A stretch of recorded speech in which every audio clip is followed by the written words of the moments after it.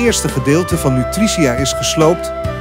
Het andere gedeelte is in 2024 aan de beurt.